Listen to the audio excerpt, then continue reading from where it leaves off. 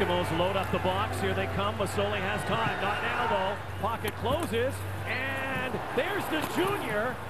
Matt Coates with his first CFL catch. And it's a huge one. It's for a first down. To number 81, Matt Coates. 22-year-old Matt Coates, first CFL game from the junior ranks to the Canadian Football League. Well, Coates is just going to go and hang out on the sidelines. Fortunately, is there as an outlet. It's supposed to be just that half roll. Masoli sets up and then drifts to buy himself a little more time. Good heads up, pocket presence. From from upstairs to field level. Masoli deep drop in trouble. Now wings it out and it's caught by Coates again. Passes